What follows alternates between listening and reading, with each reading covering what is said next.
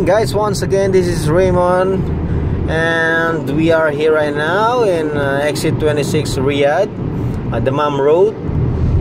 So don't forget to subscribe to my channel in your monitor right lower portion of your screen alright so let's explore Riyadh what you see is right now is Hyper Panda in exit 26 exit 26 going to exit 27 so kung alam ninyo ang daan na to at galing na kayong Saudi, Riyadh, ex abroad so makikita nyo ang pagbabago dito.